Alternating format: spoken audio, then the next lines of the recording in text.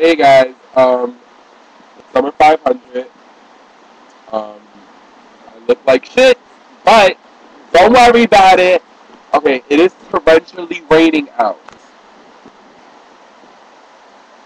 I don't know if you can see that, but it is coming down.